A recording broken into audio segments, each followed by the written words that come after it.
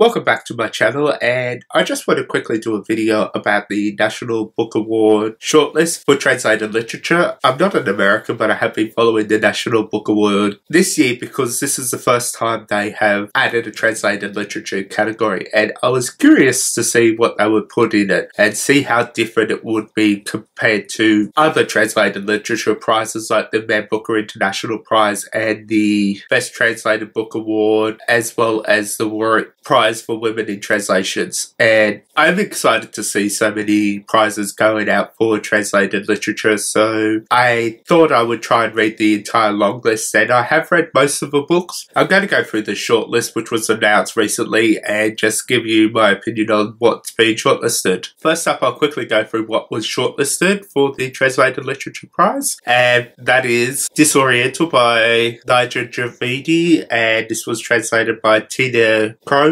And then there was Love by Hanne Ørstavik, and this was translated by Martin Aitken. There was Trick by Domenico Starnone, and this was translated by Jhumpa Lahiri. We had the Emissary by Yoko Tawada, and this is translated by Margaret Mitsutani, and Flights by Olga Tokarczuk, translated by Jennifer Croft. And I have read pretty much all of the books. I'm halfway through Disoriental, so I will leave that one to talk about last because I'm still going through that one. As for Love, I think this was a brilliant Norwegian novel. I was kind of surprised this was the Norwegian novel they picked, but it's short, it is haunting, almost eerie in a sense, a fantastic read. I think it was well deserving of being on the shortlist. I think this will hopefully get more people to read it. This is a story of a mother and son over the course of one night, and they are living together, but they have their own separate lives. So it kind of plays out that way, and I really like Hanne Ørstavik kind of has that play out separately and explores everyday life in an eerie type of way. So that one I'm really excited to see on the shortlist. Trick by Starnone is not one that I really enjoyed. It was a grandfather grandson relationship, and he had to look after his grandson for 72 hours while his daughter and his son in law had to go away on a conference. And it was just their relationship. I didn't really like this book. I thought it was pointless, and I'm very surprised to see it on the shortlist. The Emissary, I don't think I wanted to talk about because I don't think it was deserving to be on the long list, let alone the short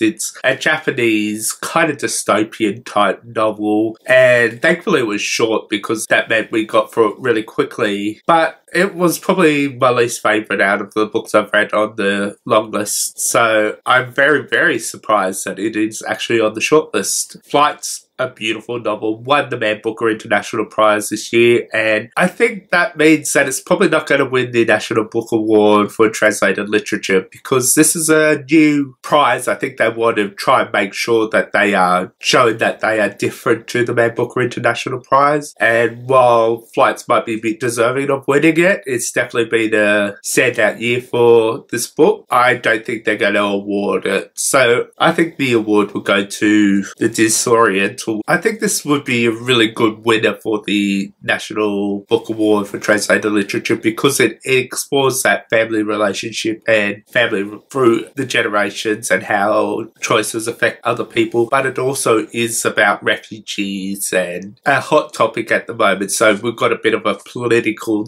undertone with a coming of age type story. And I think it's a brilliant book. I'm really enjoying it. I've been taking my time reading it because I want to give it the time it deserves deserves and give it the time it needs and not trying to rush through it because it just felt like that type of book. So I am very much hoping that this will be the winner of this first ever translated literature award. I've been working my way through the entire long list. I've still got a couple to read. I have The Disoriental, which I'm halfway through. I have only recently started The Beekeeper, which is a non-fiction book that made the list. And the other one was Aetherial World, which I've been saving for last. It's a collection of short stories. So I can understand why non-fiction and short stories didn't make the short list, but there were a couple of books on the long list that were definitely more deserving to make the shortlist, but I am not a judge, that's my opinion, and I want to open up to everyone else. So please let me know what you think of this shortlist and if you've read any and what you think might win. If you want to find me elsewhere, all my links to social media are in the description below and I'll be back probably tomorrow with a Friday Reads. Thank you for watching.